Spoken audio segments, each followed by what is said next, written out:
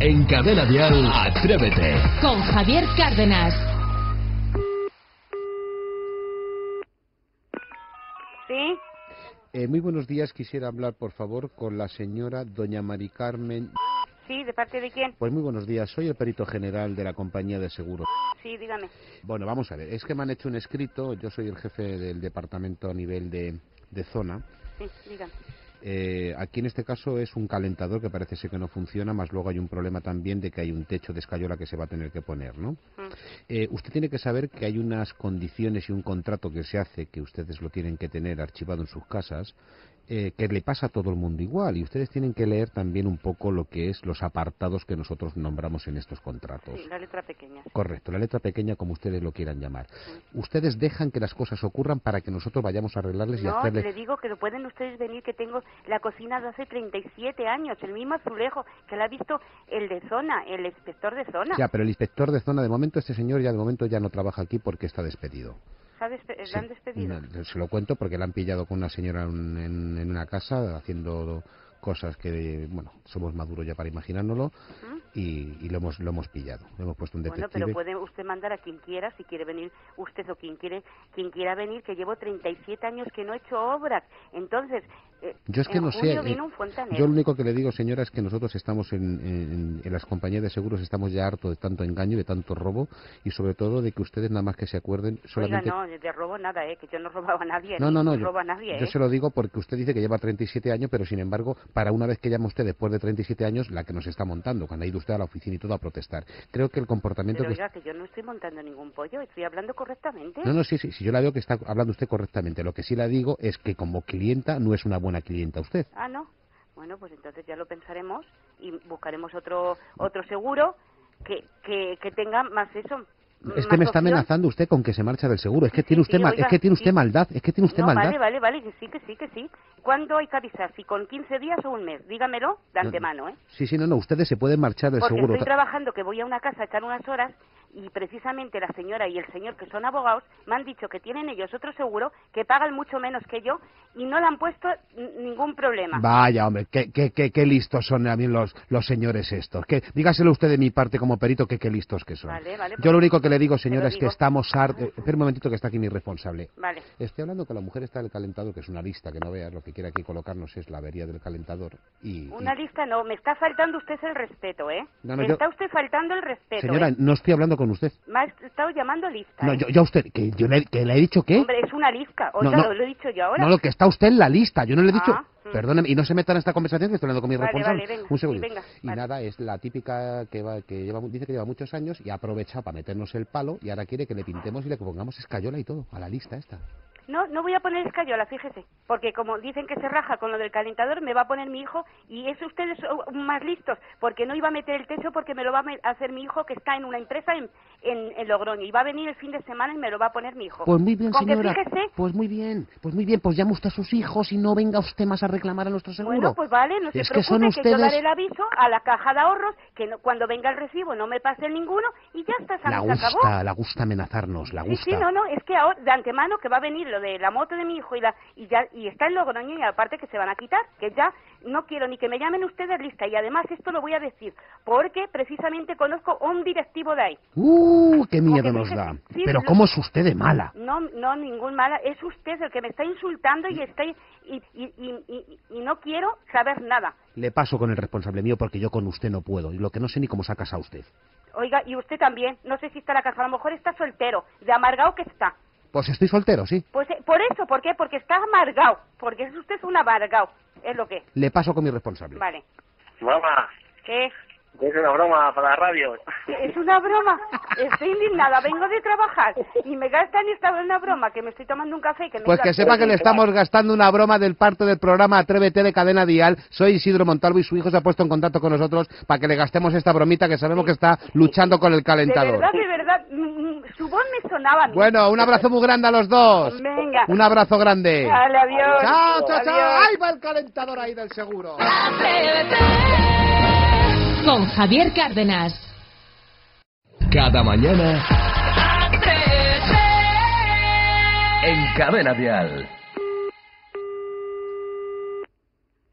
Dígame.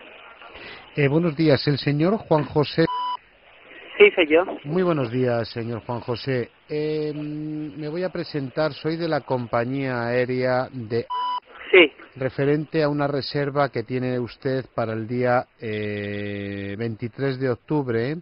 sí, efectivamente. Vamos a ver, esta operación eh, se hizo a través de una cuenta bancaria del Banco de...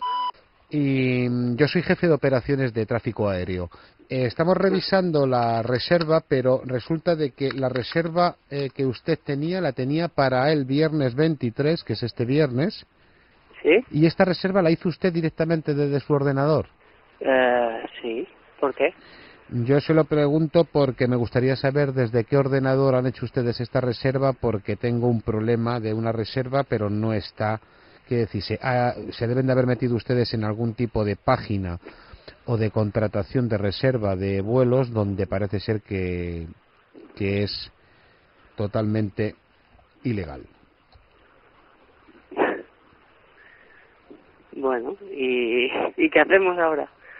No, no, yo le pregunto a usted, pues si usted sabe en qué portal se metió y cuál es la dirección de donde ustedes hicieron la reserva, porque a nosotros nos dan como reserva, pero luego está anulada, quiere decirse que ha sido una página falsa y que ha hecho reservar la, la operación, pero no, no, es- no la tenemos aquí figurada. Pobre.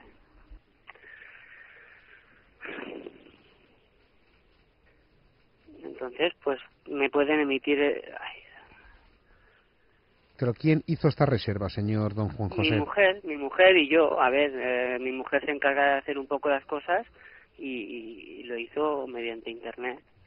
Mm, mm, mm, ¿Cómo, ¿Cómo usted permite a su señora, que es que, que- o usted en este caso, hacer una reserva y no confirmar esto? Es decir, ¿en qué cabeza cabe, señor, a, a- a los años que estamos, de no hacer este tipo de movimientos? ¿Usted cree que se puede poner una tarjeta de crédito en un, en un apartado de Internet cuando saben ustedes perfectamente que se están mandando un montón de incógnitas dentro de lo que es son? Sí, dígame, dígame. En internet, a ver, la verdad, me fío bastante de internet, ¿qué quieres que te diga? Pues el fiado es que le han quitado a usted el dinero, señor, y usted no se marcha para Brasil. No, no, ya lo sé. No, no, tómeselo, digamos, como usted quiera, si se lo quiere tomar usted con humor, si se lo quiere tomar usted, digamos, con, con simpatía. Yo lo único que puedo remitirle es la, la factura suya de usted, donde yo le voy a remitir automáticamente para que usted pueda ir a, hacer la denuncia y para otra vez lo que tiene usted que eh, es aprender, aprender. Eh, ¿Qué motivo es el suyo de ir a Brasil? eh, viaje de deportes, por hacer deporte, para hacer kitesurf. Hombre, normalmente el destino de ir a Brasil, normalmente sí, se suele hacer bastante deporte. Sobre todo se suele hacer deporte fresquito. Venga, Isidro, no me jodas. Brasil, a ver esa musiquita JC. Pero ha habido Juan, un momento que digo, me cago en la p*** han pillado. fíjate qué musiquita te pongo. Vamos. Todo Pau, abre tus puertas a tu corazón, qué lindo el Vale. deporte, vas a hacer mucho deporte, ay los culitos de las niñas, ay qué lindo, vai todo, vai, vai, vai todo, ay que abre tus puertas a tu corazón, ay qué rico.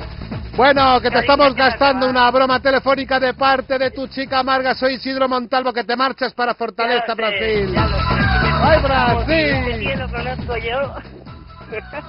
Estabas ahí un poquito, había unos silencios tuyos. Sí, estaba flipando. Casi llora. Ahí está, bueno. Venga, muchas gracias. Un abrazo muy grande a los dos. Venga, Venga, hasta luego. Venga, vamos Brasil, Brasil. Atrévete con Javier Cárdenas. Cada mañana. En Cadena Dial. ¿Sí? Eh, muy buenos días. Llamamos de aquí del hotel de... ¿Qué tal están? Ah, muy bien, muy, bien. Bueno, pero eh, me voy a presentar. Mi nombre es Ignacio Sánchez. eh, soy del Departamento de Atención al Cliente. Y después de las vacaciones los hacemos un pequeño repaso de cuál ha sido para ustedes la atención que han tenido dentro del hotel y bueno, si hay algún tipo de sugerencia que ustedes nos puedan aportar, pues nosotros encantadísimos. Pues vamos, eh, bien, lo único es la comida que luego ya últimamente se repetía mucho en lo mismo, Sí. pero por lo demás todo bastante bien. Para usted, ¿qué significa eso de que la comida estaba un poco repetitiva? Pues vamos a ver, por ejemplo, yo estuvimos dando una vuelta por allí, estuvimos en otro hotel, por ejemplo, y no tenía nada que ver, había una gama de, bollos y cosas, porque es que Allí el desayuno siempre era lo mismo, los Ya. pequeñitos esos y, Sí. y nada más. Pero ustedes que iban con, media eh, con una pensión completa no tenían derecho a tomar copas y ustedes estaban continuamente tomando copas. Perdone, yo las copas que me he tomado las he pagado. Sí, pero que dése cuenta de lo que estamos hablando. Quiere decirse que usted ha comido muchísimo. Perdone, Señora, tendría no que tener usted un poquito de cuidado con estas cosas. Eso sí, para un hombre, desayuno perdone, tampoco le vamos a poner un cordero, señora. Perdone, si van ustedes cargados de avaricia a comer pero gratis. Bueno, pero bueno, pero bueno, vamos a comer gratis, no señor, que lo estoy pagando. Pero no se da usted cuenta, señora, que lo que intento es intentar de una manera social y, de lo más natural de decirle que no se puede ir con ese con esa agonía, con esas ganas de, de gastar. Vamos a comer pa- para que el hotel se fastidie y gasten. Pero le voy a decir otra cosa, no vuelva usted más a mi hotel. Vale, me parece muy bien. No, no venga usted más, porque con usted pierdo dinero, porque usted come mucho. Perdóneme, señora. Perdone, el que come, usted me parece que es un poco mal educado. ¿Qué, de- qué es lo que lleva usted en el departamento y quién es usted? Señora, que vuelvo a repetirla que no, tengo un par... dígame usted su nombre. Sí, coja usted mi nombre, don Ignacio Sánchez León. Estoy harto ya de, de- de tanto abuso y de tanta gente. Viene la gente con agonías al hotel y, y- y la gente nada más caga, aunque le pasa algo al estómago y los tengan que ingresar. Como más o menos como en mi casa. Pero si se han hinchado hay- ustedes, si se han hinchado ustedes de copas gratis y usted no tenía derecho a las Pero copas bueno, gratis. vamos a ver, vuelvo a repetirle que las copas que yo me he tomado las he pagado, señor. No me diga usted a mí que si me he hinchado o no me he hinchado. Que yo con usted no gano dinero, señora, con usted no gano dinero, porque ha comido usted como cuatro personas, perdóneme. Pero es usted una, de lo peor que- educado que es usted, ¿me entiende? Que vamos con de- ansiedades, que vamos con ansiedad, que vamos a ver si echamos el, el- el gasto al hotel. Y van ustedes, vuelvo a repetirle, si estoy, lo que pasa es que yo no he estado allí en los días que ustedes estuvieron porque a mí me han hecho el parte de incidencias. Si yo estoy, yo le hago así en la manita cuando va a coger usted la copa. No, eso no se toca. Y no se lo toman Eh, ustedes. perdone, perdone, pero es que yo esa copa, si, me la, la he, si la he cogido, es que la he pagado, ¿eh? Y usted no me hace así en la manita, ni usted ni nadie, ¿me entiende? Mm, con usted no he ganado dinero este verano, no venga más. Me parece muy Le bien. paso de todas maneras un momentito con recepción para que le anulen del ordenador, para que la pongan eh, comilona Perdone, comilón será usted, ¿me entiende? Le paso con el director general. Que no Habla, habla, habla, pasar habla, con corre, corre. Usted es muy mal Mari. O sea, Mari, que es una broma para la radio, para uy, cadena la vial. leche. Uy, uy, uy, uy, uy, uy, uy, uy. Uy, la Que te la has leche. tragado. Madre mía de mi vida. Te va a ir te va a ir Pero- España, Mari. Pero bueno. pero Mari bueno. Carmen. ¿Qué? Soy Isidro Montalvo del programa Atrévete de Cadena Día, que te estamos gastando una broma de parte Ay, de ay. tu sobrino. Oiga, bueno, de verdad me he quedado alucinada, mire. Juan Carlos, Sí. que sabemos nosotros que se ha tomado sus copitas y no las ha pagado, pero Sí, no sí, pasa nada. ha pagado. Claro, claro, efectivamente. Bueno, un abrazo muy grande a los Venga, dos. Igualmente. Vale, Gracias por gracias. todo. Hasta luego, hasta Chao, luego. chao, chao, chao. ¡Ay, vais las Sí. copillas del hotel! Atrévete con Javier Cárdenas.